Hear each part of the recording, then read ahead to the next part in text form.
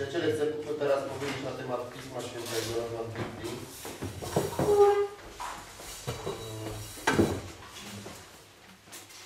Biblia jest, y, Biblia jest rzeczą e, bardzo e, szeroką i chcę dzisiaj powiedzieć na temat y, takich bardzo podstawowych rzeczy. Nie będę jakby tutaj szeroko podchodził do, do zjawiska, bo nie mamy na to czasu. Ja na jednej ze szkoły, y, na jednej szkole służby y, zrobiłem dla liderów takie bardzo obszerne szkolenia na ten temat. Więc y,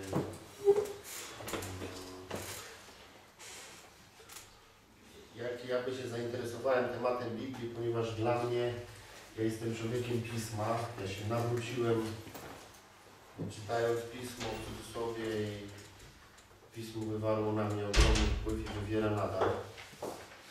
Natomiast w moim życiu musiałem zwe, zweryfikować masę tematów związanych z Pismem Świętym. Ponieważ ja byłem nauczony yy, potem tego, że Pismo jest jedynym wymiernikiem wiary i życia. Mi to włożono do głowy. Ja przez to miałem masę kłopotów w życiu. E, bo Pismo Święte nie jest jedynym wymiernikiem wiary życia. Przyczyna jest prosta. Przyczyna jest taka, że właśnie w tymże piśmie, którego jestem fanatykiem wręcz, jest napisane, że dziećmi Bożymi są ci, których prowadzi Duch Święty, a nie Pismo Święte. Jak dobrze czytamy w liście do Rzymu. Pamiętacie? Kto jest dzieckiem Bożym? Tego, kto prowadzi Duch Święty. Święty. A nie Pismo Święte. Jak kogoś prowadzi Pismo Święte, to ktoś ma kłopoty. I to nie świadczy, że jest dzieckiem Bożym. Ponieważ chrześcijaństwo nie polega na tym, że Pismo Święte stanowi dla nas jedyny wymiernik wiary i życia. Ponieważ pierwsi chrześcijanie nie posiadali Pisma Świętego.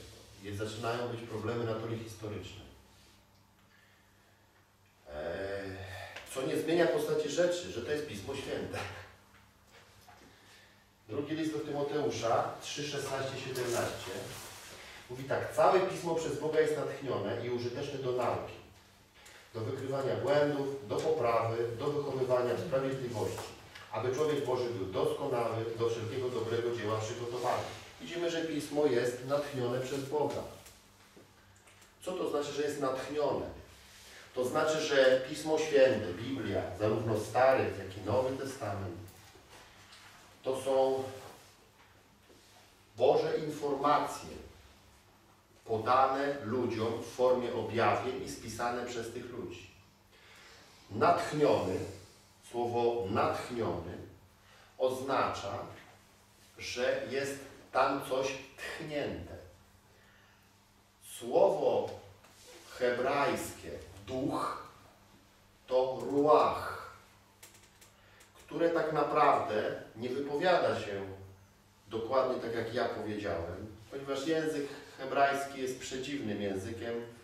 E, uważam, że stworzonym, w pewnym sensie stworzonym, zainspirowanym przez Boga, aby przekazać szereg rzeczy, których inny język przekazać nie może. I na przykład słowo ruach nie wymawia się w ten sposób, jak ja powiedziałem, tylko wymawia się ruach i oni nie wymawiają końcówki, tylko tchną na końcu. Ruach. To jest to. Tam jest wmontowana forma tchnienia. Tak samo jak słowo Jachwę. Tam jest tchnienie. Bo słowo ruach, tłumaczone jako Duch Święty, też oznacza po hebrajsku tchnienie. Też oznacza wiatr. Też oznacza powiew. W Grece jest jeszcze lepiej. Bo duch jest określony greckim słowem pneuma. Od tego jest ma- materac pneumatyczny na przykład. Coś dmuchane. A więc wszędzie, gdzie się dmucha, tam pneuma. A więc Bóg tchnął na ludzi. Jak tchnął, On jeden wie. Nie wiem jak tchnął. Szczególnie Znaczy ja wiem jak tchnął na ludzi w Nowym Przymierzu, to wiem jak on tchnął. Bo to wszyscy wiedzą jak tchnął.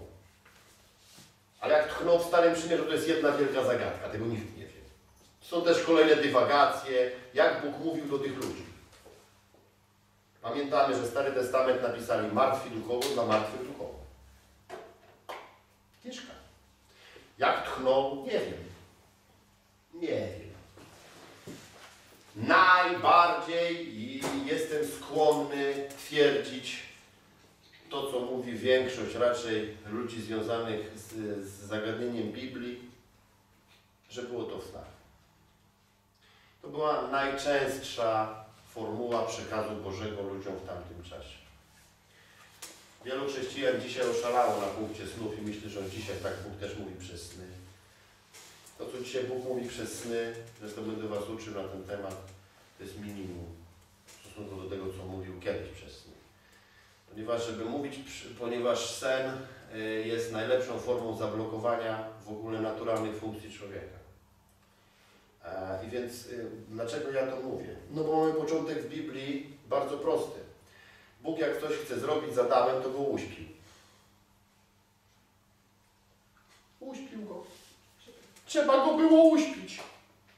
A więc widzimy, że Bóg od samego początku, żeby coś nadprzyrodzonego zrobić z człowiekiem, którego sam stworzył, to co robi z nim? Usypia. W związku z tym, tak? W związku z tym też są informacje, dalej dla nas bardzo jasne, e, pod tytułem, że e, we śnie zaopatruje Pan swego umiłowanego i wiele innych rzeczy. Dokładnie tam jest napisane, we śnie zdradza Pan swoim umiłowanym, bo takie są tam w ogóle. I tych tekstów jest masa w różnych miejscach, ale to jest dla nas mało ważne w tej chwili. Nie, znaczy nie, tak, nie aż tak ważne na tą chwilę, żeby o tym tak, tak jakoś specjalnie się rozwodzić. Generalnie w jaki sposób ci ludzie odbierali szereg różnych informacji od Bożego Ducha, no i je spisywali. No i tak powstaje coś, co nazywamy dzisiaj Pismem Świętym. E, dlatego ono jest natchnione. Ale to, że ono jest natchnione, to nie oznacza, że ono samo w sobie jest owym tchnieniem, bo to jest wielka różnica. Rozumiecie? Wielka różnica. To jest wielka różnica na przykład, ach, tam mam przykład tutaj na, na mojej osobie. Słuchacie moich głoszeń. I to jest dobra rzecz, ale jest zupełnie inną rzeczą, kiedy sami sobie z kimś usiądę twarzą w twarz, w cztery oczy i porozmawiam. Jest różnica? Jest różnica. Tak samo jak jest z autorem książki jakiejś. Jakiś autor coś napisze, prawda? I to jest wspaniałe dzieło ale zupełnie inaczej jakby się usiadło z tym autorem i porozmawiało o jego przeżyciach w związku z tym, jak on to pisał, co miał na myśli, z czego to wynikało. I dokładnie tak jest ze Świętym Duchem i z Biblią. Biblia jest jak mapa, tylko że Duch Święty jest jak GPS. Rozumiecie? No tak to wygląda. No. Więc to w ogóle, rozumiecie, to on, to ten wielki kartograf, on zainspirował tych ludzi, natomiast yy, jakby dalej już się zaczyna co? Czynnik ludzki. No i oczywiście chrześcijanie już o tym czynniku ludzkim zapominają. Mówią, całe pismo przez Boga jest natchnione. Ja mówię, jasne. Te natchnione oznacza, że zostało napisane w wyniku informacji, które przyszły.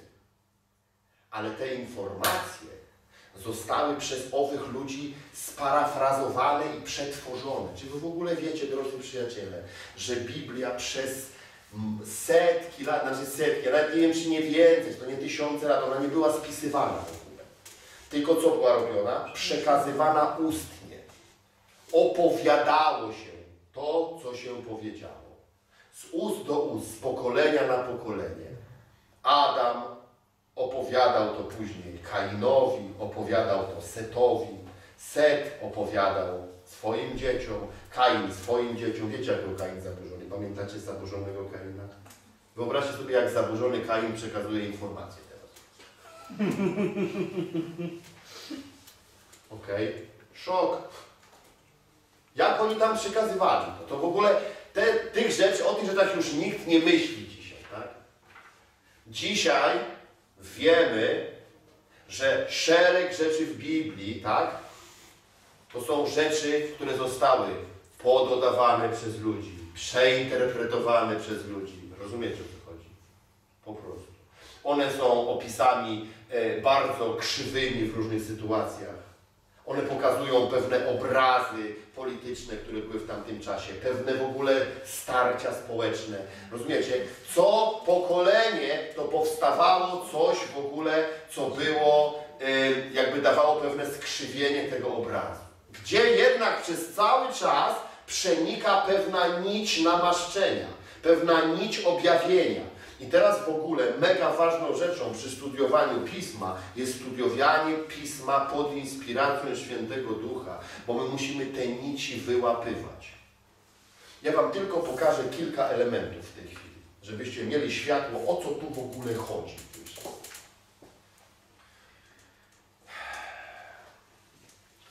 Ksiąg Mojżeszowych nigdy nie napisał Mojżesz. Mojżesz nic nie napisał. To nie, to, to, to, to, to. Dlaczego to jest nazwane Księgi Mojżeszowe? Trzeba było nazwać. No, nazwali Księgi Mojżeszowe. To w ogóle jedni nazwali Księgi Mojżeszowe, inni nie nazwali. Natomiast co do jednego wszyscy są zgodni, Mojżesz nic nie pisał, bo te księgi powstały w ogóle dużo, dużo, dużo później. Pierwszą księgą, która jest najstarszą, znaną nam księgą jest Księga Hioba. Rozumiecie? Eee, na pewno był Dawid. Co do wielu różnych patriarchów, co do wielu różnych ludzi, to są w ogóle wątpliwości, czy oni byli. Odpowiedź dlaczego? Chcę, żebyście rozumieli zasadę. My jesteśmy ludźmi natury greckiej, tak zwanej. Wiecie, dlaczego my jesteśmy natury greckiej? Dlatego, że my się poruszamy, w, jeżeli chodzi o toki myślowe i porozumienie w traktatach. To znaczy, jeżeli do mnie przyjdziesz Ty i powiesz mi jakąś historię, to na po naszym poziomie tutaj społecznym e, rozumiemy to w ten sposób, że jeżeli Ty mi opisujesz jakiś fakt, to to jest prawda. Jak Ty ten fakt przekręcisz, to to jest kłamstwo. Ale u Żydów tak nie jest. I teraz zobaczcie, co się dzieje. Od początku istnienia państwa żydowskiego, czy też kultury żydowskiej, istnieje zasada hiperboli. Na przykład. Hiperbola to jest rzecz bardzo normalna. A druga rzecz, która istnieje, to jest to, że się mówi w czym? No w przypowieściach. Kultura grecka, czyli nasza, ona nie mówi w przypowieściach. U nas się mówi w traktatach. Ale tam się mówi w czym? W przypowieściach. Co to są przypowieści? Bajki. No Jezus bajki opowiada. Szedł człowiek z Jerozolimy do Jericha. No nigdy nie szedł. Bo to nie są historie. Przyjechał król tam. Najdoskonalsze elementy psychologii opierają się na tym, że się bajki opowiada. Co to jest bajka? To jest wymyślona informacja mająca na celu przekazać morał. Bo wiecie, co jest ważne? Morał. Co jest w piśmie najważniejsze, żebyście to zrozumieli? Duchowy przekaz. Pismo Święte to nie jest księga historyczna. To nie jest księga fizyczna, to nie jest księga chemiczna, to nie jest księga geologiczna. Rozumiecie? Bo myśląc w ten sposób, rozminiemy się z intencją Pisma Świętego. Ludzie w Piśmie Świętym patrzą, czy tak, czy ziemia jest płaska, czy ziemia jest okrągła. Kiedyś do mnie podchodzi ten człowiek mówi, pastorze, ty wiesz, że ziemia jest płaska. Ja mówię do niego, posłuchaj, mówię, jesteś bardzo inteligentnym człowiekiem. I namaszczony. Głosisz Ewangelię, uzdrawiasz chorych. Mówię, ty w ogóle kamery oglądasz? To jest wszystko ściema. Ja mówię, posłuchaj, po coś do mnie przyszedł? Powiedzieć mi, że ziemia jest płaska. Jutro przyjdziesz, powiesz, że ją żółwie ruszą. Ty co? Że ją żółwie. Bo ja przeczytałem w piśmie, mówię, człowieku, daj spokój Pismu. Mówię, proszę Cię, Pismo Święte nie jest po to, żeby wyciągać z niego, ja w ogóle go tam nie tłumaczyłem, czy ona jest taka, czy ona jest inna, bo akurat na tym momencie ten człowiek w ogóle nie miał, był tak zafiksowany, że już wyszedł z tego, trzeba go tam się uwolnić, z tego w ogóle tego pojęcia takiego, ale, ale mówię, to Pismo Święte nie jest księgą geologiczną. Nie można na podstawie Pisma Świętego uważać, że coś było, tak, takiego czy innego. Bo to jest człowieku pismo, które ma przynieść informację duchową. I teraz wszystko tam jest podporządkowane przekazaniu informacji duchowej. Choćby było tysiąc bajek wokoło. nie ma znaczenia. To nie ma znaczenia. Bo to jest pismo, tak? Bo to pismo to jest pismo, które ma przekazać określony obraz duchowy. My nie mamy się zastanawiać, czy Jonasza połknął wieloryb, czy coś innego go połknęło, bo ja nie wiem, czy coś go połknęło.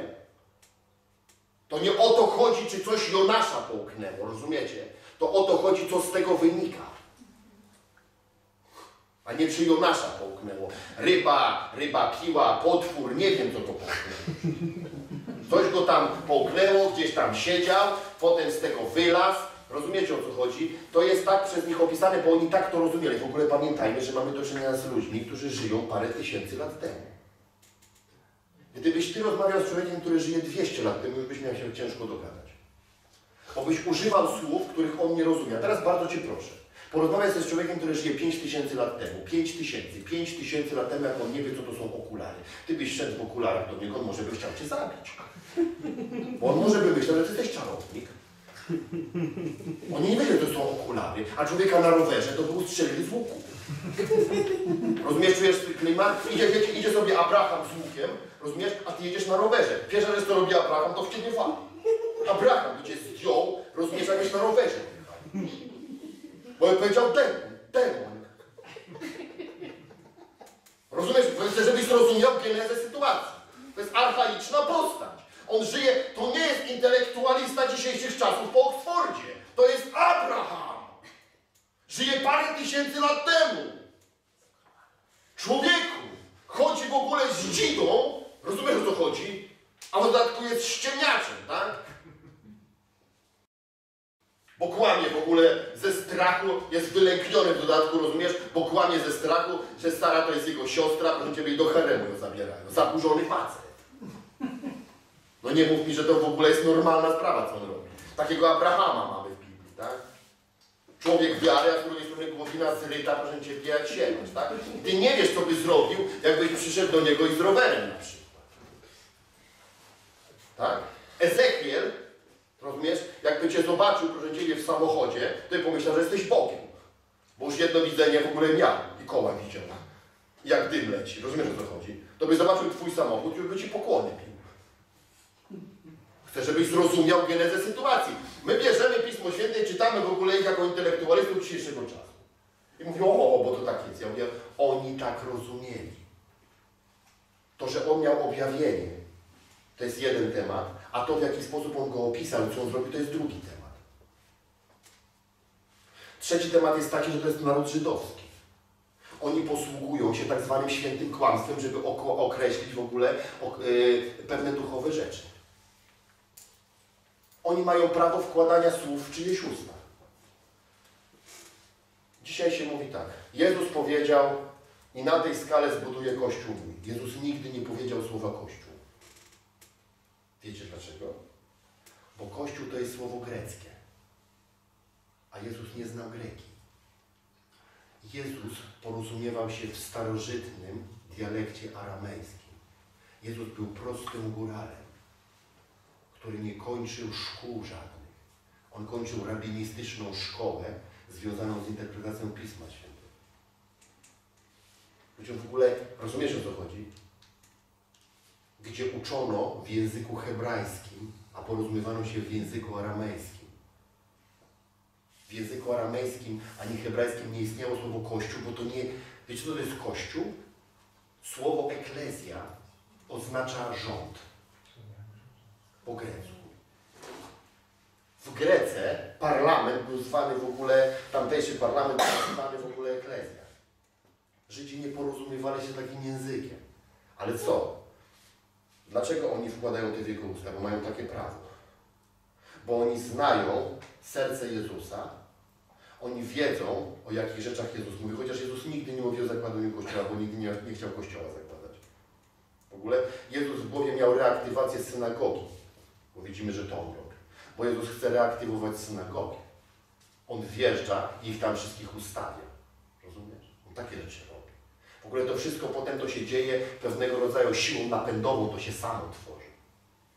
Ja Ci pokazuję tylko pewne rzeczy. Rozumiesz? Pewne, pewne formacje Ci pokazuję.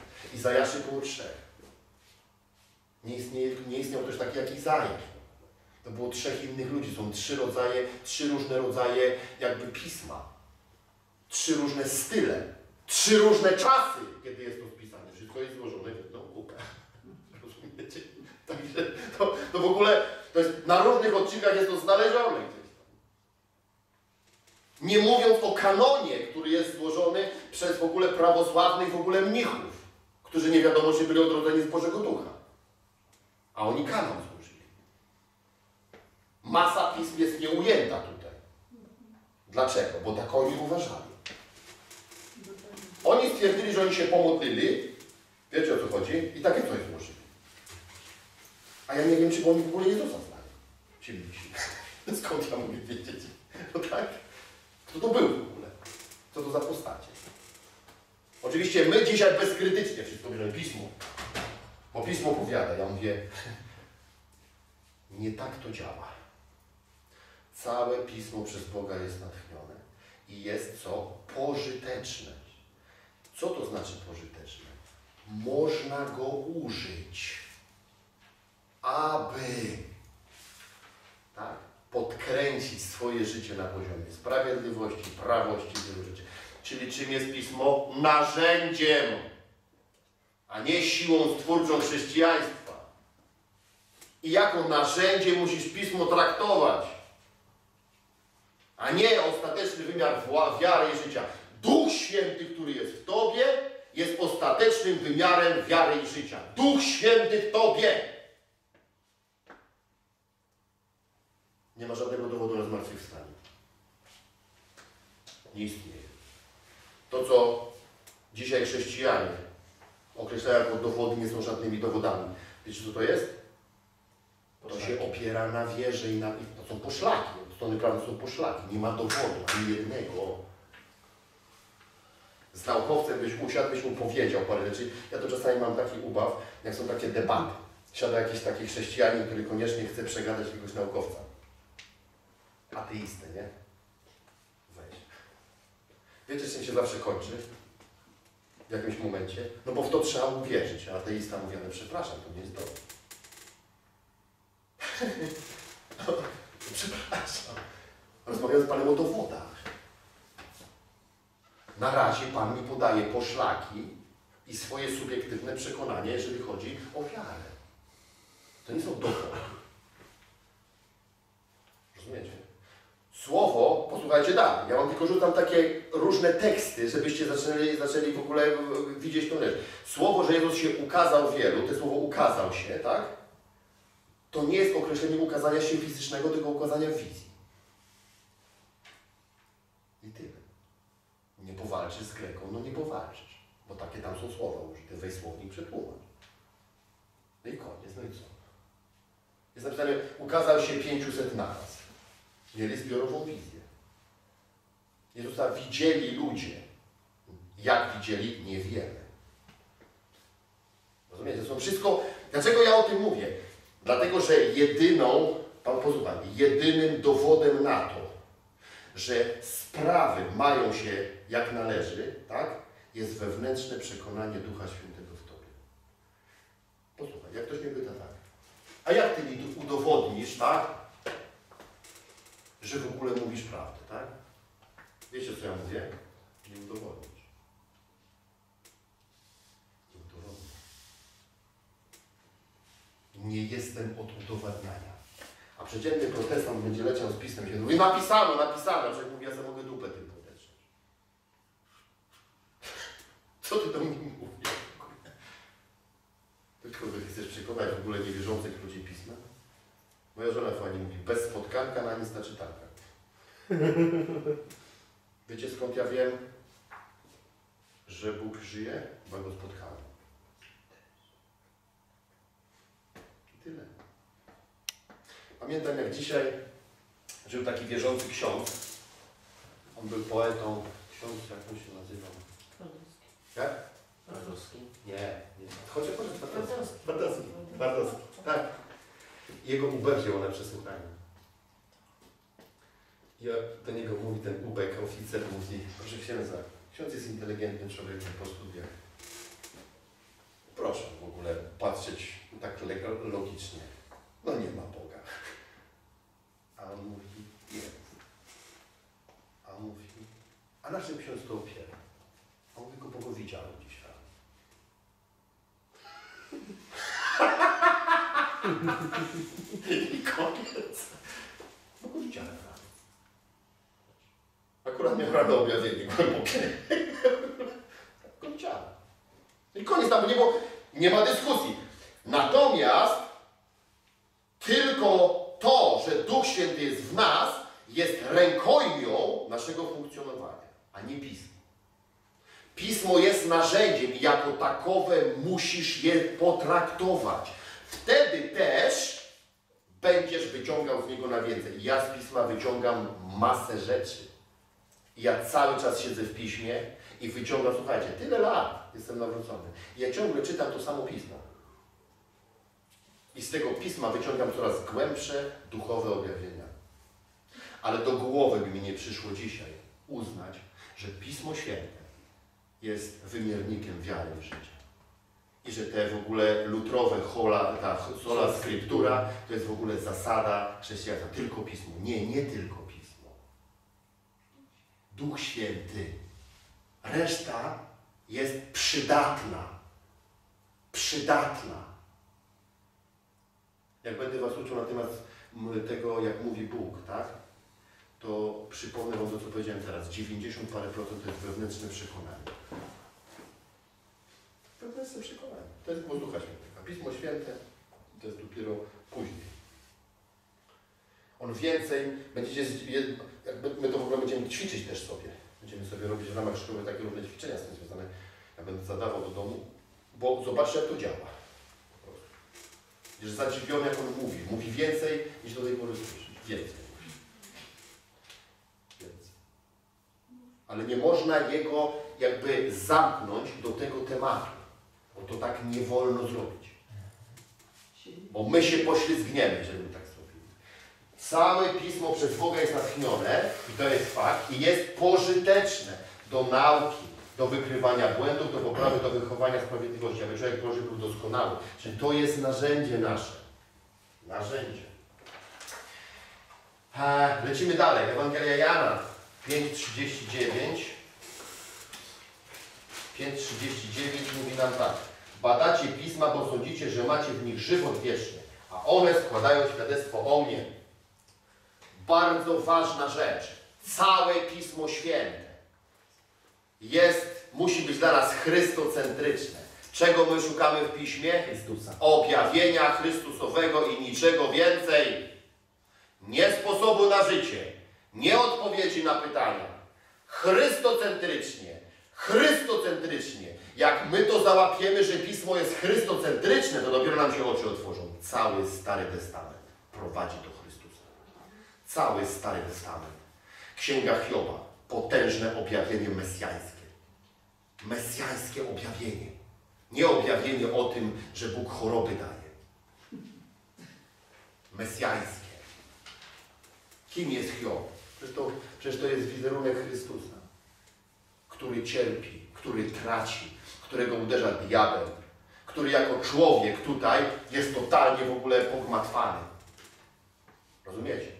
To jest objawienie, głębokie objawienie, co przeżywał Chrystus jako człowiek. To, co Hiob przeżywa przez 30 parę rozdziałów, to Jezus Chrystus przeżywa w Getsemane. Rozumiesz? Tam w Getsemane On przeżywał cierpienia Hiobowe. On stał i mówił, Ojcze, o co chodzi? Boję się. Czy na pewno jestem Mesjaszem? Ojcze. Że tam dramat przychodził. Dzisiaj ludzie są zgodni, którzy, którzy badają pismo psycholodzy biblijni, że on tam stał na skraju depresji. Na skraju depresji stał. To nie było, że on tańczył taniec zwycięstwa. On przeżywał 30 parę rozdziałów Hioba. Diabeł w niego wjeżdżał, człowiek tak jak w Hioba wjeżdżał. A jedyna obietnica była taka. Tak? Będę za tobą, synu mój. On cię w ciebie uderzy, on cię rozedrze, ale rozbije się ogień razem go pokonamy. Wszystko w Biblii jest mesjańskie. Rozumiecie? Opisy w księgach mojżeszowych, tak? o krwi są mesjańskie. Dlaczego krew była tak zabezpieczona? Oni, tam, było, tam był kult krwi, kult krwi. Rozumiecie? Nie wolno było bezkarnie krwi dotykać. Krew była w poszanowaniu. Kobiety nawet, które miały okres, musiały być odseparowane. Rozumiecie? Bo krew była w ogóle, na, to był bardzo wysoki standard. Dlaczego? Bo, na, bo to wszystko były informacje, które prowadziły do przelanej krwi za grzechy ludzi. To kurczę, całe Pismo jest chrystocentryczne. I my Pismo oglądamy z, z perspektywy chrystocentrycznej. Tylko i wyłącznie z chrystocentrycznej. Nie żadne inne. Reszta, każde inne, o, każde inne jakby próby wyciągania wniosków z Pisma są błędne. Ewangelia Łukasza 10:26. Ewangelia Łukasza 10:26 mówi tak. On zaś rzekł do nich, jak napisano, jak czytasz, jak czytasz. On pyta, jak czytasz? Te pytanie, jak ty czytasz moje pismo? Sam czy z Duchem Świętym? Co tobie towarzyszy? Oni nie rozumieli, co czytali. Mówią, jak ty czytasz? Przecież w zakonie piszą o mnie, o mnie, o mnie. To o mnie tu chodzi. O mnie tu chodzi. Tu nie chodzi, żebyś nie kradł. Tu nie chodzi, żebyś nie mordował. Tu o mnie chodzi. Ja często ludziom zadaję pytanie, jakie było pierwsze przykazanie? Co Bóg powiedział? Pierwsze przykazanie. Pierwsze, pierwsze. Jakie było? Słuchaj Izraelu. Słuchaj. Pierwsze przykazanie. Pierwsza informacja. Słuchaj Izraelu. Drugie przykazanie. Pan jest jeden. Trzecie przykazanie. Będziesz miłował Pana. Gdzie ja Wam coś pokażę. To jest bardzo ważne. To jest wszystko zawężone. Oni sobie to potem wszystko musieli jakoś poukładać, ci ludzie. Przykazania również. Oni musieli jakoś to zawrzeć. Oni to potem sparafrazowali. Nie zabijaj, nie cudzołóż, nie kradnij. W ogóle nawet wiecie, że tak nie brzmiało. Badaliście jakieś przykazania? Tam nawet nie ma słowa nie kradnij. Nigdy Bóg nie powiedział nie kradnij. Tam jest napisane nie będziesz porywał człowieka. Taki tekst jest. Nie będziesz porywał człowieka. Tam w ogóle nie jest napisane nie, mord, nie zabijaj, tylko jest napisane nie będziesz musiał mordować. Nie będziesz musiał mordować. W ogóle tak, to co innego było. To wszystko ich kierowało, żeby oni wzięli te przykazania, przyszli do Boga i żeby powiedzieli, Boże mój, nie mam siły, aby tak żyć, ale wiem, że to jest dobre. Oni cierpieli przez to, że sami się brali do roboty za to. Cały czas. On ich kierował do czego? Do miejsca łaski, do miejsca łaski, do miejsca łaski. Cały czas, cały czas, cały czas. Dawid. Pierwszy Dawid zaczął trybić to. Czemu Jezus jest zwany synem Dawidowym? Bo Dawid pierwszy trybi łaskę. Pierwszy trybi łaskę w ogóle. Pierwszy przychodzi w ogóle mówi, Panie, rozumiem, że błądzę, ale Tyś Bogiem moim. Ojcze mój. W ogóle rozumiecie, to są inne parametry, to się inaczej czyta. Jak czytasz, Jezus pyta. Co ty tam żeś wyczytał w tym piśmie? Co mówi zakon? Wiecie, to w ogóle to co innego jest. Pismo to nie są zasady, reguły, co wolno, co nie wolno, co trzeba, co nie trzeba. To są duchowe informacje. Jeżeli nie rozpoznasz duchowych informacji, to Pismo będzie paskudną bronią w Twoim ręku. Będziesz niszczył nim siebie i innych. Nie będziesz rozumiał tego, co głosisz, nie będziesz rozumiał tego, co mówisz. To jest inne. To jest co innego w ogóle. Ewangelia Marka 13-14. Ewangelia Marka 13-14. Mówi tak. Gdy tutaj życie ohydę spustoszenia, z tam jest stać nie. Kto czyta, niech uważa. Tekst bardzo ważny. Kto czyta, niech uważa. Czyli do czytania przykładamy uwagę, jaką duchową uwagę. Kto czyta, niech uważa, a nie czytam. Idę sobie poczytać pismo. Po co? Ty musisz być uważny w Duchu Świętym na to, co ty, co ty czytasz. Kto czyta, niech uważa. To nie jest intelektualne wyciągnięcie jakichś wniosków.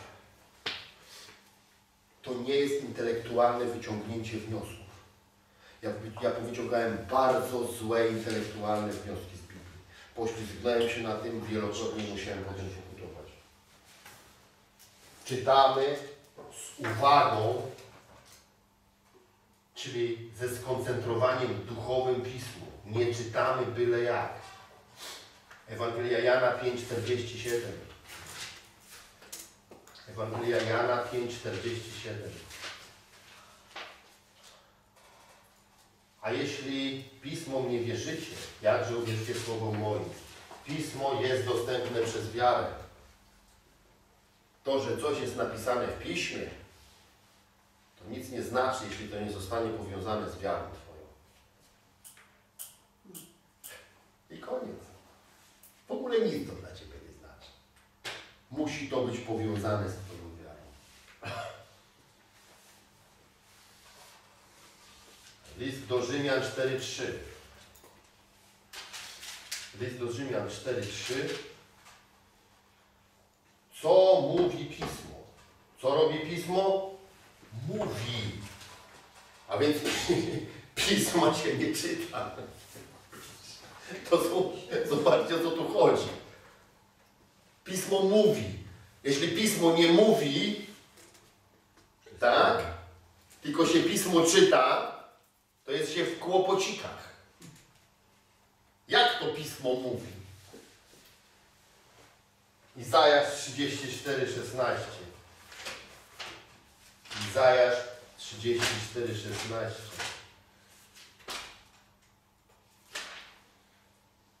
Trzydzieści cztery, szesnaście. Badacie Pismo Pana. Badajcie Pismo Pana i czytajcie.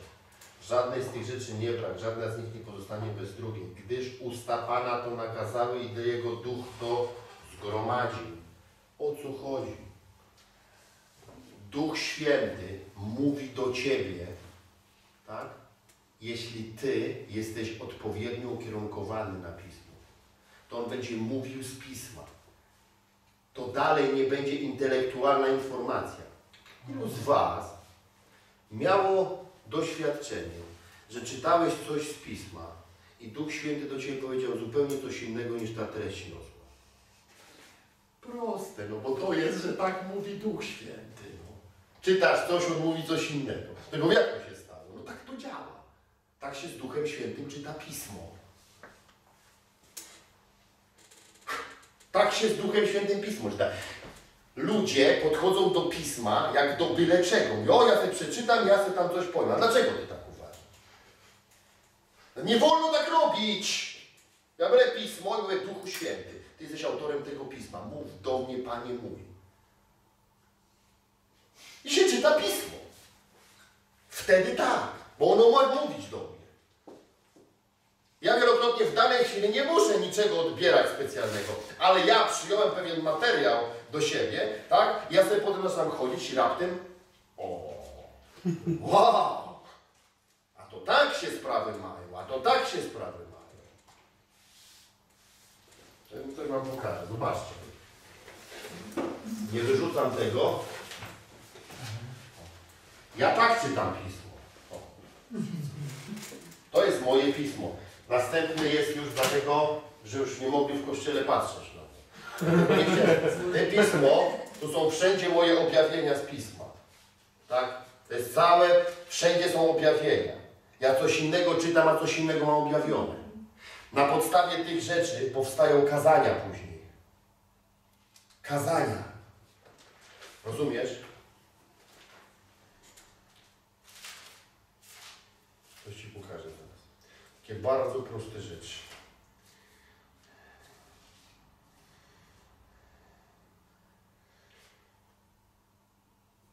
Nie jest On przeto Bogiem umarłych, a żywych. Dla Niego bowiem wszyscy żyją. Czytałem to intelektualnie wiele razy. Któregoś dnia powiedziałem Duchu Święty, prowadź mnie. I zrozumiałem. Dla Niego bowiem wszyscy żyją. On nikogo nie uważa za umarłego. Dla Niego wszyscy żyją, bo On przez Chrystusa patrzy. On tylko widzi żywych przez Chrystusa. On w ogóle nie wie, o co chodzi z tymi, co Jezusa nie przyjął. Mówi, a o co chodzi z Wami? Co to jest? Dla mnie wszyscy żyjecie. Jedna osoba od nas kościoła umieściła post i napisała taką rzecz.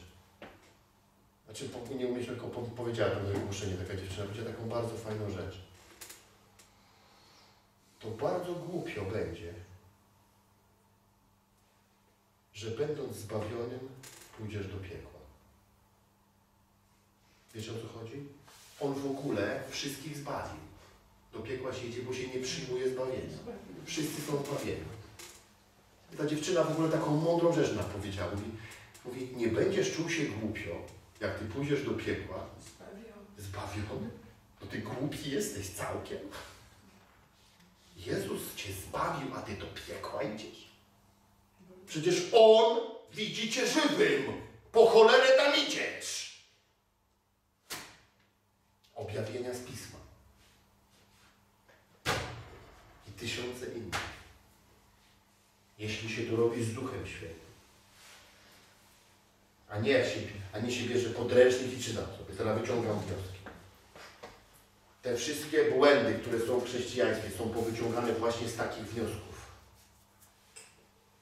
Kobiety niech przykrywają głowy swoje. I kupę kościołów przykrywa głowy swoje. Ale parę wersetów dalej jest napisane tak. Głową żony jest mąż. Niech kobieta nie śmie się modlić ani prorokować z odkrytą głową. Co to znaczy? To znaczy, że jak kobieta idzie się modlić albo prorokować, czyli idzie przed Boga, to mąż musi odejść na bok. Czyli trzeba przykryć męża chustką. Trzeba przykryć męża, żeby mąż nie przysłaniał Boga. Prościej nie można, ale po co czytać z objawieniem, jak można kobietom nakazać na głowę czapki?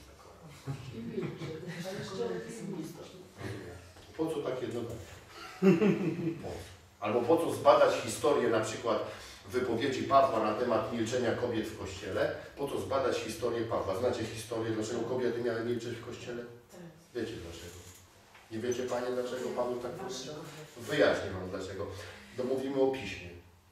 Korynt to była jedna wiel- wielka agencja towarzyska, jeden wielki burdel. To było zgromadzenie największej ilości prostytutek na tym terenie. W tamtym czasie ko- tylko jeden rodzaj kobiet był w stanie żyć poza władzą mężczyzn. Były to prostytutki. Prostytutki były najbardziej wolnymi kobietami tamtego czasu. Nie posiadały żadnej władzy męskiej nad sobą. Posiadały jako jedyny rodzaj kobiecy, jako jedyny w cudzysłowie, jedyna forma życia, własne pieniądze. Nie miały żadnego patriarchy. Nie musiały mieć męża, który je utrzymywał, ojca czy brata. Były niezależne. To pierwsze feministki. Pierwsze feministki to były prostytutki. I Korynt z tego słynął. Dlatego się mówi o damach korynckich, rozumiecie? No, córy korynckie. To były prostytutki. I Paweł tam zakłada kościół. I teraz o co chodzi? No zgadnijcie, kto się nawraca. Prostytutki, alfonsi, ci, którzy korzystają z usług prostytutek. Paweł taki kościół zakłada. Czy już rozumiecie, dlaczego to był cielesny kościół? To nie było zbyt dużo inteligentnych ludzi. No, rozumiecie? Co definiowało prostytutkę? Była odważna. To najodważniejsze kobiety. Bo to trzeba być odważnym, żeby być prostytutką, pomijając już wszystko. To jest mimo wszystko kobieta, która jest słabsza fizycznie i ona idzie y, do mężczyzn i ona się w ogóle włóczy z nimi, ona może być pobita, może być skrzywdzona, to trzeba być odważnym, żeby robić takie rzeczy. Ja pomijam aspekty moralne. A więc mamy do czynienia z odważnymi kobietami. Są to silne kobiety. To nie są słabe dziewuszki. To silne kobiety, bo to trzeba być mimo wszystko silną psychicznie kobietą, żeby wytrzymać w ogóle bycie prostytutką. I teraz co? No dziewczyny się nawracają. Wychodzą też za mąż. Zgadnijcie, jak wygląda przeciętny związek prostytutki, która w ogóle nie umie żyć. Tak, jest już narodzona z Bożego Ducha i wypełniona Duchem Świętym. Natomiast dusza dalej jest taka, jaka była. Jak dobrze wiecie, nie uświęcamy się w przeciągu kilku dni, kilku tygodni, a niektórzy nawet w ciągu kilku lat się nie uświęcają. A co dopiero, jak ktoś ma tak popieprzone w głowie, tak? Jak prostytutka dwa tysiące lat temu. tak? I teraz o co chodzi? Są to kobiety silne, jak powiedziałem, zdecydowane. To nie są ciche dziewczynki. One nie są nauczone tego, żeby zamykać buzię, tak? Tylko one są nauczone tego, żeby żyć ekspansywnie. One mają pieniądze, one są niezależne, one żyją ekspansywnie. Następna rzecz. W tamtym okresie czasu uczyli się tylko mężczyźni. Kobiety były niewykształcone, nie potrafiły czytać, nie potrafiły pisać. Zbory tamtejsze były zakładane na wzór synagog, bo tylko jeden wzór znano w tamtym czasie. A więc z jednej strony siedziały kobiety, z drugiej mężczyźni. Był tak zwany babiniec. Tam siedziały kobiety. A więc te dziewczyny, były prostytutki, nieuświęcone, siedziały z jednej strony. Mężowie siedzieli z drugiej strony.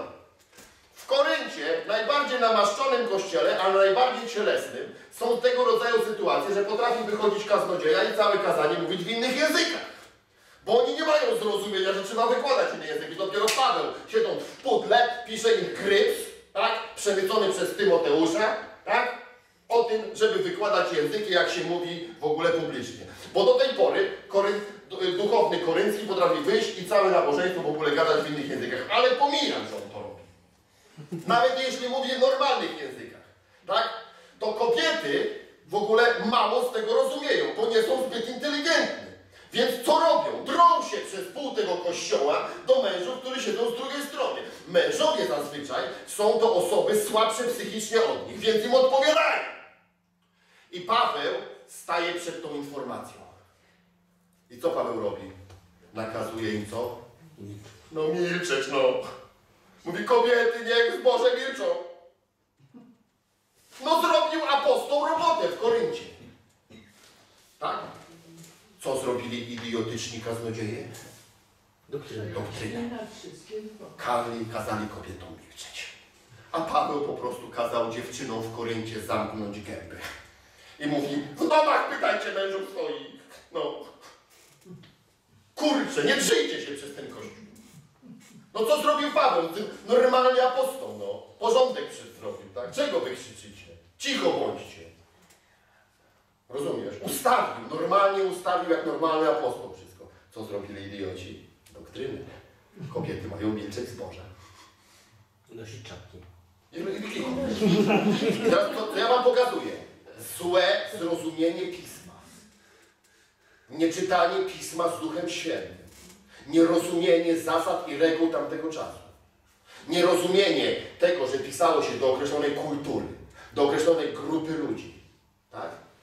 Ludzie czytają wypowiedzi Jezusa przed krzyżem i uważają, że powinni je stosować po krzyżu. Ja wiem, ktoś takich rzeczy powiedział. Przecież tam nie było nikogo. Przecież Jezus przed krzyżem nie ma ani jednej narodzonej z Bożego Ducha duszyczki, do której głosi. To są sami nienarodzeni z Bożego Ducha ludzie. Musisz to tylko proroczo oglądać i nie inaczej. Tego nie możesz uznawać za prawa. Jakie prawa? To nie działa w ten sposób. On tam prostuje zakon. On prostuje zakon. On prostuje rzeczy różne. To są, inne, to, jest inna, to są inni ludzie w ogóle, do których on głosi w ogóle, a zupełnie do innych ludzi głoszą apostołowie później. Tam jest zupełnie coś innego robione. Ale do tego trzeba mieć głębokie zrozumienie i Pismo czytać z Duchem Świętym. Bo inaczej wyciągamy marne wnioski. Marne wnioski. Ewangelia Jana 10:35. Ewangelia Jana 10:35. Pismo nie może być naruszone. Pismo nie może być co? Naruszone. Czyli nie można, tak, wyjąć z pisma jakiegoś elementu z kontekstu i zbudować na nim przekonania jakiegokolwiek. Bo pismo nie może być naruszone. Przeczytajmy do tego pierwszy list Jana 1,7,8. Pierwszy list Jana 1,7,8. Jeśli zaś chodzimy w światłości, jaką sam jest światłości, społeczność mamy z sobą i krew Jezusa Chrystusa, Syna Jego oczyszcza nas od wszelkiego grzechu. Jeśli mówimy, że grzechu nie mamy, sami siebie zwodzimy i prawdy w nas nie ma. Chodzi o to, 1,7,8, tak. Chodzi o to, że jeżeli my naruszamy całokształt pisma, całokształt, wyciągając elementy z kontekstu, tak, no to w ogóle wypadamy z systemu prawdy. Automatycznie, nawet jeśli to coś samo w sobie jest jakimś elementem prawdy, to całościowo, tak, jest dla nas nie do dotknięcia. Pismo czytamy w kontekście. To jest to na przykład, o czym my sobie wczoraj rozmawialiśmy, że żeby objawienie wziąć z pisma, to to nie jest tak, że my przeczytamy gdzieś o tym, tylko my musimy nauczyć się pobrać te rzeczy, zbadać konteksty, połączyć elementy i wtedy mamy brylę objawienia. Rozumiecie? Część rzeczy jest w Starym Testamencie, część jest w Nowym Testamencie, część jest obrazem proroczym, część jest jakąś informacją, która jest związana z jakąś formą przeżycia, część jest częścią historii. Łączymy te sprawy. I bierzemy konteksty, patrzymy do kogo Jezus mówił, czy do kogo były, były, były głoszone słowa, jaki był stan polityczny, bo to jest wszystko opisane, jaki był stan społeczny. Tak? Co chciał przekazać dany kaznodzieja, jaki był cel tego.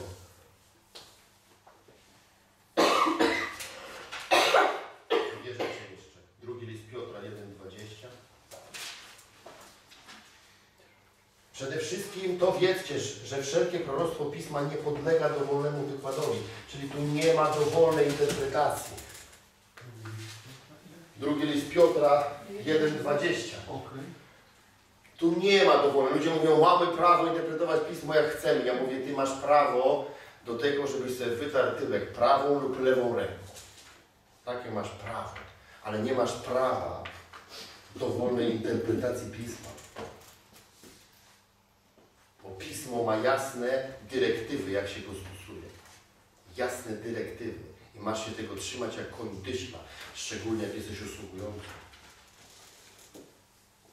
A to, co po prostu się dzieje, to jest drama. To każdy sobie bierze Pismo i mówi, jak ja będę jak chcę.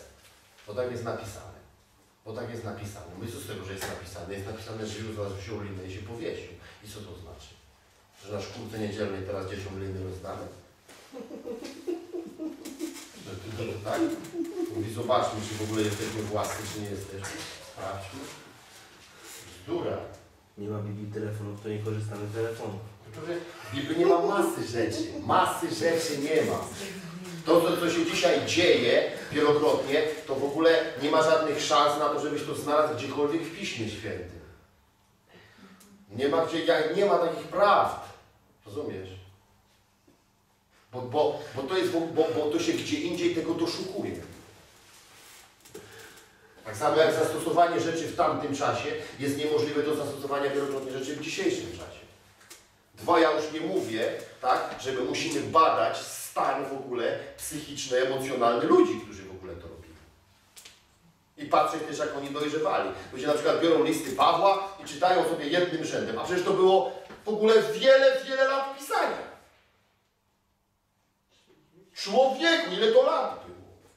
Ja 10 lat temu byłem innym człowiekiem. 10 lat temu. Ja miałem 10 lat temu przekonania, których się dziś wstydzę. 15 lat temu miałem takie przekonania niektóre, że mi się żygać chce. Byłem zaburzony. Na przykład miałem takie przekonania na temat kobiet. Ja miałem problemy w ogóle z kobietami. Ja miałem problemy. Moje problemy wynikały z tego, że widziałem moją matkę lejącą mojego ojca za to, że był alkoholikiem. Ja w ogóle miałem wypaczone pojęcie na temat kobiet. Ja w ogóle byłem wielkim przeciwnikiem przewodzenia kobiet, kobiet gdziekolwiek. Ja uważałem, że kobieta, naprawdę, ja miałem takie zaburzenie. Ja uważałem, że kobieta to powinna siedzieć cicho i się nie odzywać. Wiecie dlaczego? Ja się w ogóle bałem, ja się bałem w pewnym sensie siły, pe, pewnej siły u kobiety, bo ja ją źle widziałem. Ta moja matka nie chciała źle, to nie chodziło, że ona chciała źle. Ja to, bo to wspaniała osoba. Natomiast ja to widziałem i to w moim dzieciństwie wywarło na mnie bardzo silny wpływ. To, że kobieta bije mężczyznę. Rozumiecie? I ja, ja, miałem, ja miałem traumatyczne przeżycie w związku z tym. Miałem ranę w mojej głowie. I to w, i we mnie wyrosło, i we mnie wyrosło to, że w ogóle y, kobieta, ona musi siedzieć cicho, tak? I to mężczyzna jest tym, który powinien w ogóle przewodzić. Dlaczego? Bo ja byłem mężczyzną i w mojej poświadomości była prosta informacja, tak? No nie chcesz być bity przez kobietę, no. No nie chcesz, żeby kobieta tobą w ogóle rządziła. Jak będzie tobą rządzić kobieta, to będziesz niszczony. Bo ten obraz dzieciństwa był we mnie wbity jak szpilka. Miałem chorobę. Rozumiecie, o co chodzi? Chorobę. Więc wiecie, jakie były moje głoszenia? Wprost proporcjonalne do mojej choroby. Więc oczywiście w ogóle biłem brawo na to, że kobiety nie, mogą, nie powinny głosić, nie powinny się odzywać i nie powinny yy, yy, stanowisk przywódczych nosić, yy, sprawować, nie mówiąc, żeby być pastorami, nauczycielami czy kimkolwiek innym. Tak? Ale co się stało przez ten okres czasu? Wyzdrowiałem. Pokutowałem z moich przekonań. Dzisiaj jestem pierwszym, tak, który pcha kobiety do służby. Dzisiaj trzy nasze kościoły są prowadzone przez kobiety. W tym jedna jest po dwóch rozwodach. Ku ucieszy całej religii. Rozumiecie? Dlaczego? Chora główka była. A dlaczego zało nie zakładać na przykład, że Paweł miał szowinistyczne problemy? A skąd wiemy, że nie? A on miał dziwne przekonania. Pomijając to wszystko, o czym tutaj mówiłem, bo to jest w ogóle, to, to było bardzo normalne, ale on miał w ogóle dziwne przekonania, Paweł. Dziwne. No dziwne miał o. Ja jestem bardzo Pawłowy. Ja gdybym miał podpisać się, to się rękami i nogami podpisuję pod teologią Pawła. Ja jestem naprawdę Pawłowy. Ale też zdrowo patrzę na Pawła. I uważam, że Paweł miał problemy z kobietami. Bo to wynika z jego różnych tekstów, które tam są. Powiem więcej, on dochodzi dopiero sobie do czegoś. On potrafi takie wyciągać wnioski, że tutaj, no bo mężczyzna, bo, bo, bo kobieta, y, oto ona upadła, a mężczyzna poszedł za nią. Zobaczcie, on ma takie w ogóle, wiecie, takie majazdy. I dopiero w pewnym momencie, no mówi, no ale właściwie, no to mężczyzna jest przez kobietę, a kobieta nam przez mężczyznę. No w Bogu nie ma kobiety i mężczyzny. Może do wniosku dochodzi. Ale jak ktoś to czyta, mówi, o, to jest dopiero, na, to jest napisane jedno po drugim. Ja mówię, a skąd ty wiesz, ile czasu minęło między tym zapisem a tym? On tu dojrzewa. On się zmienia. On się uzdrawia. Ja rozumiem Pawła, jak on się uzdrawia. Ja rozumiem Pawła, bo ja się uzdrawiałem. Ja się uzdrawiałem. Oni byli pozaburzani. Jakub z Janem, człowieku, oni przychodzą do Jezusa i mówi, Panie, spalmy wioskę, bo nas nie przyjęli. Ty, kto to jest? Apostołowie? Apostoł Jan Jakub. Jezus mówi, jakiego, ty nie wiesz, jakiego ducha jesteś. Człowiek. Tomasz w ogóle mówi, ja nie uwierzę, jak nie wsadzę palca ci w dziurę tutaj w rękę. I w, i w bok ci nie wsadzę. Ja nie uwierzę. Jakub z Janem idą dalej, matkę przysyłają swoją i mówię, iść nam załatw, żebyśmy siedzieli po prawicy, po lewicy. Ty masz dobre gadane. Tak? Się, człowieku, ty ona mówi, ty, matka, matka, ty czujesz klimat, matka przychodzi, w ogóle mówi, zobacz, wiesz. To znajomość. Czy wiecie, co jest w głowach, co w głowach ludzi? Tacy, on miał takich ludzi. Takich ludzi miał. Piotr go zdradza. Andrzej nikomu nic nie głosi, człowieku. Cały czas gdzieś z tyłu wycofany. Czujesz klimat? Taka ekipa. Nikt mi nie może powiedzieć, że to byli zdrowi ludzie. Ok? To nie byli zdrowi ludzie. Salomon miał 300 żon. Nie, 700 żon i 300 kochanych. I tym 700 żonom pobudował 700 świątyń pogańskich. No bardzo Cię proszę. Przypowieści Salomona napisał. Skąd wiesz tu rozpału, jak to pisał? A może z dwoma naraz? A może pisał to w międzyczasie, jak wychodził ze świątyni Molocha i szedł pochwalić Belzebuba. Skąd wiesz, że nie? Widzisz? Skąd wiesz, że kiedy jednej postawił świątynię Asztarty, którą wielbiono przez orgie seksualne, że nie siedział i nie pisał kaznodziei Salomona wtedy? Albo pieśń nad pieśniami. Skąd wiesz, kiedy powstała pieśń nad pieśniami? Wiecie, dlaczego wam to rzucam? Bo musicie myśleć. Nam nie wolno bezkrytycznie tego wszystkiego wziąć. I będzie sola skryptura. Ktoś ci powie sola skryptura, to powiedz hydroksyzynem. Hydroksyzynkę. Ta słaba. Hydro- Mam znajomego lekarza w kościele. Sola skryptura. Ty. Rozumiecie, co tutaj chodzi? Ci ludzie pisali pismo. Okej? Widzicie, co Piotr robi? Kiedy przychodzi w miejsce, gdzie Paweł pou- poustawiał zbory, wszystko jest dobrze, posłuchaj, wszystko jest dobrze, póki nie przychodzą ludzie od Jakuba i od Jana. Kiedy przychodzą ludzie od Jakuba i od Jana, którzy są judaizujący, natychmiast się wycofuje i przestaje siedzieć ze swoimi braćmi i siostrami i uznaje ich za gorszych, bo są z Boga. Jaki jest Piotr?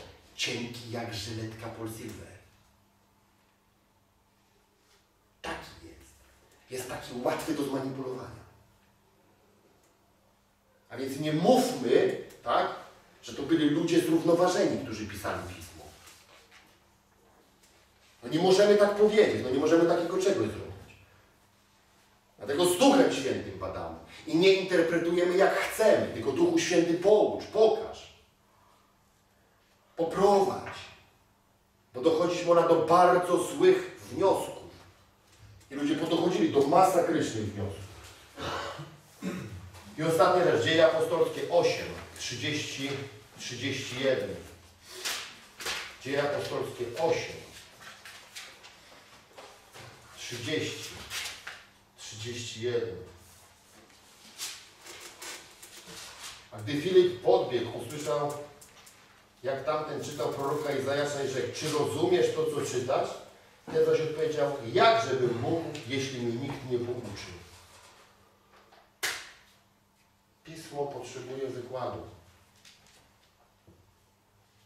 Pismo potrzebuje wykładu.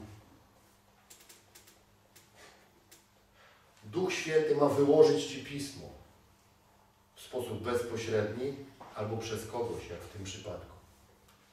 Tak działa system Pisma Świętego. No Tylko jak będziesz korzystał z tego wielkiego daru od Boga, to rób to umiejętnie, bo to jest narzędzie. Narzędzie. Jest wiele narzędzi. Mam w domu skrzynkę z narzędziami. Są tam kombinerki, młotek, śrubokręt. Ale wiesz, ja nie biorę w ogóle śrubokrętu, tak, jak chcę coś wbić. I nie biorę młotka, chcę wkręcić śrubę. Biorę odpowiednie narzędzie i działam. I Ty też w ten sposób działaj. Badaj to sobie. Kup sobie w ogóle słownik grecko-polski, polsko-grecki. Kup sobie Biblię Gdańską w systemie Stronga. Bardzo dobra rzecz, niedroga. Świadkowie Jehowy wydają człowieku, oni drogo nie biorą. Rozumiesz? Kup sobie to, co, to, co Ola ma w domu, yy, komentarz żydowski do Nowego Testamentu. Bardzo ważna sprawa, żeby zrozumieć żydowski konspekt. Ko, ko, w ogóle, ko, jak to się nazywa? Konspekt, nie konspekt. Kontekst. Kontekst. Żydowski. To jest żydowskie. To pisali Żydzi, tak? Pisali dla Żydów. Wiele rzeczy, wiele rzeczy jest dla nas nie, niejasnych. Wiele rzeczy nie rozumiemy. Tam są, takie, tam są takie informacje na przykład. Światłem ciała jest oko. Czyje oko jest czyste, ten tam ma czysto. Co to znaczy? Ludzie się domyślają. A kiedy ty rozumiesz, jak wygląda kontekst żydowski, w żydowstwie jest prosta rzecz. Jak się mówiło do kogoś, ty masz rebę, dobre oko, to oznaczało, ja widzę, jak ty w synagodze dużo pieniędzy dajesz. Wiesz, kto to był człowiek z dobrym okiem? Hojny finansowo, na rzecz królestwa. I koniec. Światłem ciała jest oko. To znaczy, że Tak, jak siejesz pieniądze w Królestwo Boże, taki jesteś naprawdę. To to oznacza. I koniec. A z czym tu się boksować? Trzeba wziąć kontekst żydowski. To nie było do Europejczyków. To do Żydów w żydowskim sloganie, w żydowskiej mentalności to było. I teraz jak ważną jest rzeczą poznać na przykład mentalność, kupuj sobie opra- opracowania różne. Dowiaduj się, jak wyglądała kultura żydowska, jak oni mówili, o co im chodziło w ogóle, tak? Jezus to Żyd. Zobacz sarkazmy Pawłowe. Ludzie mówią, my jest, mamy Ducha Świętego, jest napisane, że wszystko wiemy. Ja mówię, kretynie, to sarkazm. Sarkazm. Rabinistyczny sarkazm. No człowieku, no, no wszystko wiesz. No ja przeczytałem w piśmie, że ja wszystko wiem. No człowieku, no. Normalnie ja nie wiem, człowieku, ty. Do uwolnienia. Do uwolnienia. To jest sarkazm. Paweł, Paweł sarkastycznie mówi, tak, wy wszystko wiecie, wszystko wiecie. Innymi językami krzyni gadacie w ogóle z tego, tak? Gdzie muchy drą mordę, proszę Ciebie na drugą stronę zboru. Wszystko wiecie, wszystko. Najmądrzejsze. Wszystko. To jest sarkastyczne. Ale nie, no po co to patrzeć z tej strony? Jak to nie tak, wszystko wiemy. Duch Święty powiedział, w piśmie napisano. To dlaczego by napisali, że pięty masz z przodu, to co byś robił? Pół życia pokutował, a potem na operację plastyczną poszedł się modlił, tak? Debilu. Dwie włosy rosną, jak to słucham tego, co ludzie robią tym pismem. Pismo święte to jest święte, święte. W Duchu Świętym się to przychodzi.